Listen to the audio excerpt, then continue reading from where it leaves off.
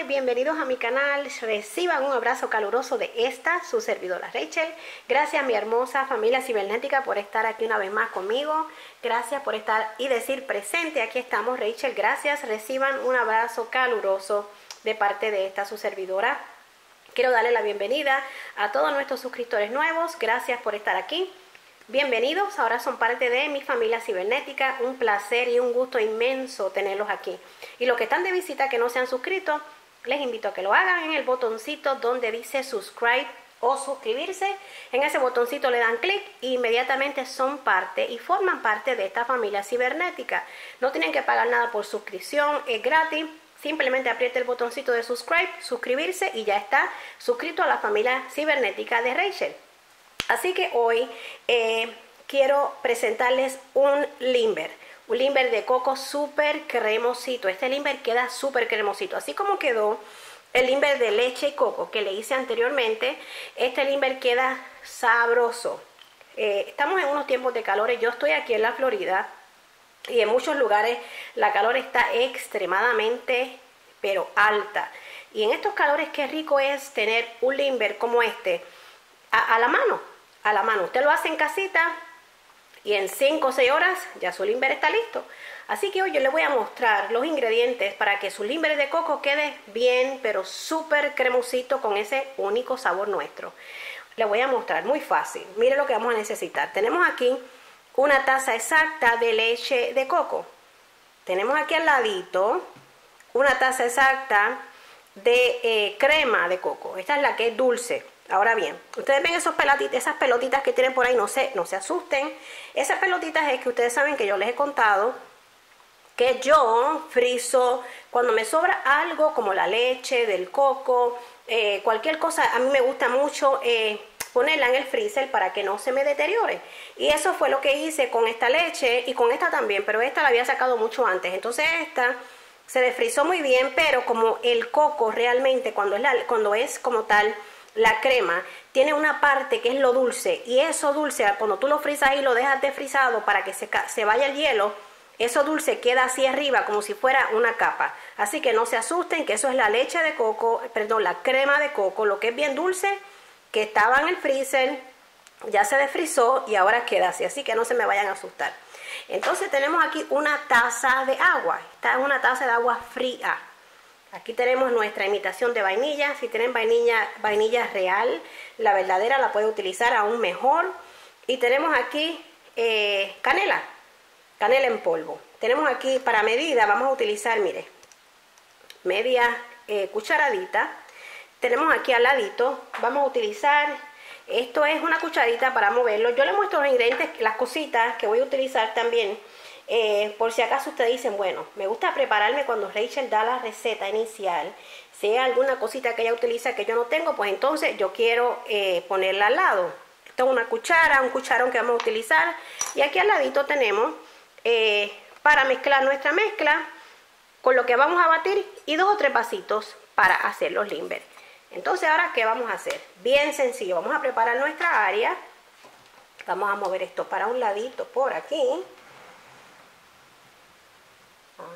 Vamos a mover esto aquí para hacerle espacio a donde vamos a batir nuestra mezcla. Vamos a poner esto por acá. Ok. Y ahora vamos a batir. Esto es súper, súper, súper sencillo y súper fácil. Ok, vamos a echar nuestra tacita de, de leche de coco. Ustedes saben la que yo les he mostrado que yo, que yo utilizo pero ustedes pueden utilizar la de su preferencia. Esta me sobró de una de las recetas que les hice y yo, como les he contado, la pongo en el freezer y cuando la voy a utilizar la pongo a desfrizar y la utilizo y todo chévere.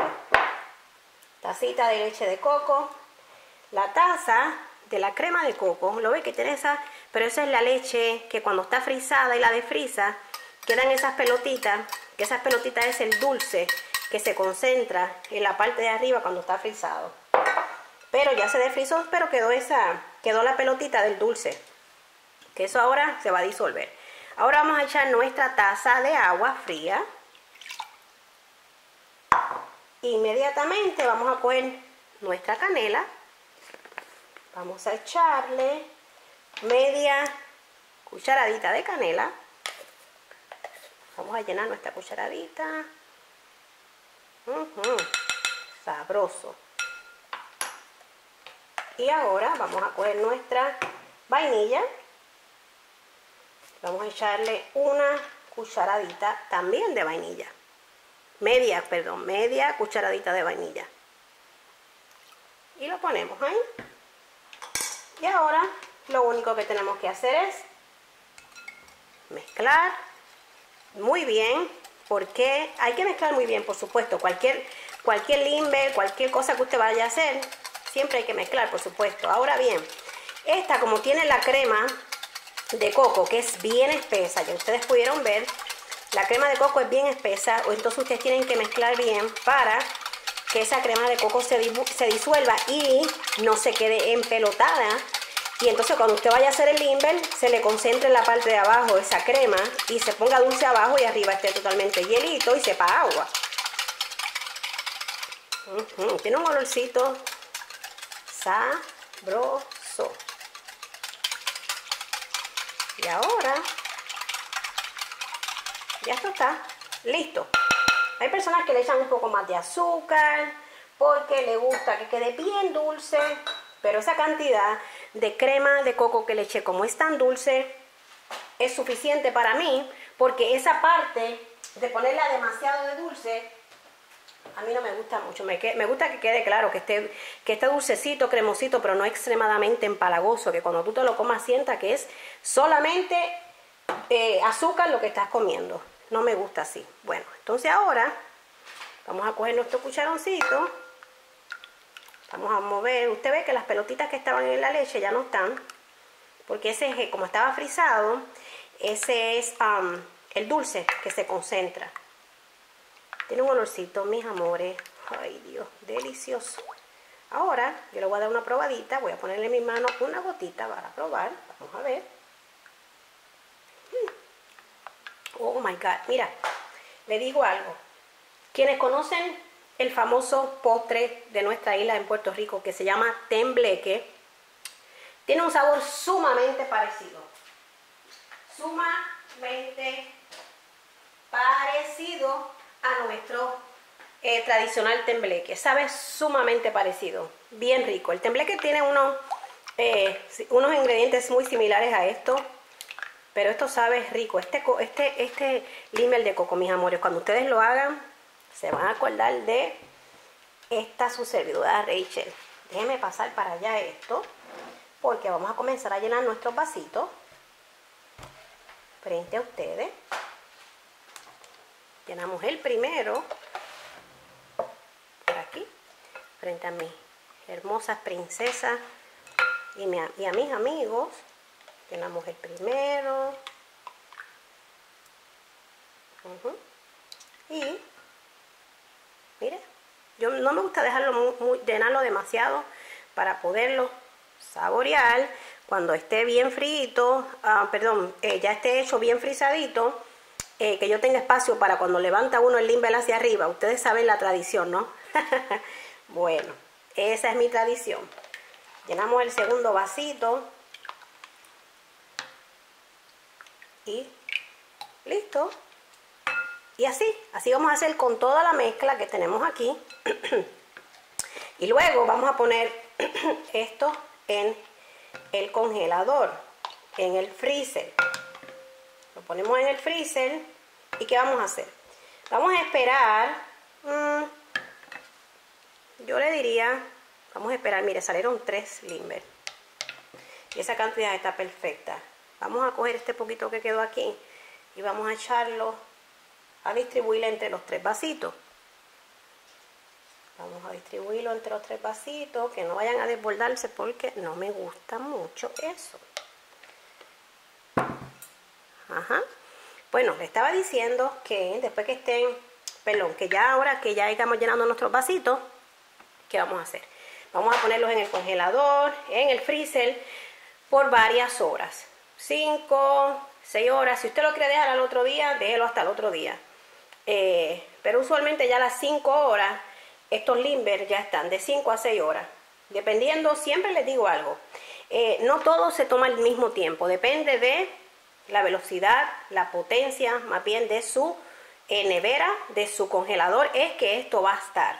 Puede ser que a usted le estén cuatro horas y a mí cinco, cinco horas y media, pero eh, lo más importante es que usted vea que su limber ya está duro, que está totalmente hielo, que cuando usted lo toque está duro, como eh, cuando le mostré el limber de leche y coco que hicimos hace muy poquito, así tiene que estar y eso significa que está.